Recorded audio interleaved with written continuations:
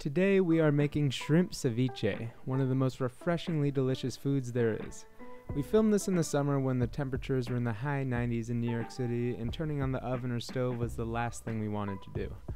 All you need to make ceviche is a knife and some time. For this recipe, we are using shrimp, but any assortment of shellfish or firm ocean fish will do. Rather than cooking the shrimp with heat, ceviche cooks it with acid, and in this case, lime juice. If you're a bit squeamish of raw fish, you can pre cook it and it will still be delicious, but the texture won't be quite as good. Let's get to it.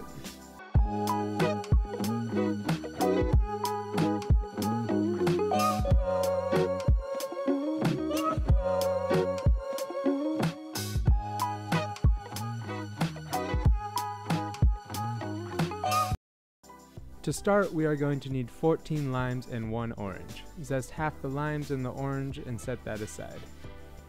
Now that your kitchen smells amazing, cut all this citrus in half and get a nice forearm workout by squeezing it all into a large bowl. Here we have a pound of frozen shrimp. In general, for ceviche, it's better to go with frozen fish for safety reasons. You really don't know how long that seafood has been sitting out at the grocery store, whereas frozen seafood is deep frozen as soon as it's caught, killing any germs or parasites. To thaw, place the frozen shrimp in a bowl and run cold water over it until thawed enough to peel. Cut your shrimp into even, small, round quarter inch pieces like so and add it to the acid bath. Give it a nice stir, cover it with plastic wrap, and place in the fridge for around 4 hours to marinate. Once the shrimp is marinated, you'll know the acid has done its job when the shrimp has become firm and opaque like this. Now that the shrimp is cooked, it's time to add in some vegetables to bring in more variety of flavors and textures. First, finely dice one large red onion. Next, we'll finely dice four jalapenos. We don't want the ribs or seeds for this recipe, so to cut, we'll first cut the stem end off, stand it up on that flat surface, and cut vertically around the outside. Cut across these strips into a fine dice and add it to your bowl.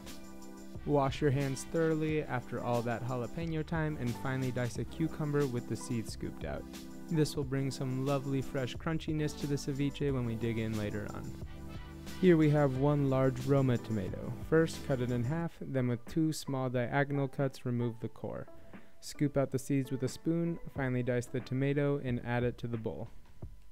Season this generously with 3 large pinches of kosher salt, around 20 cranks of black pepper, 1 tablespoon of cumin, a shake of cayenne pepper, and a tablespoon of Mexican oregano. Give this a big stir and set it back in the fridge for around 30 minutes to mellow out the raw onion and jalapeno flavor. Meanwhile, make some ice cold margaritas. Have Joey assist in making a small cut in the lime wedge for garnishing. For the home stretch, dice one large mango. First, cut down the two sides. For the middle part, I run my knife around the outside to remove the skin and cut chunks off of the pit. For the two sides, carefully cut squares into the flesh so that we can scoop it out later. It's 2020, so all of you know how to dice an avocado at this point. Tear off a bunch of cilantro leaves, roll the leaves up into a tight ball, and mow through that ball with your knife. Retrieve your ceviche from the fridge and add in your cilantro, your diced mango, your diced avocado, and your citrus zest from earlier. Add 2 tablespoons of some good olive oil and give it a stir. Give it one final season to taste with more kosher salt and black pepper until it tastes perfect.